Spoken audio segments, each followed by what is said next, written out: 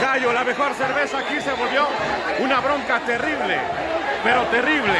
Se están peleando entre sí.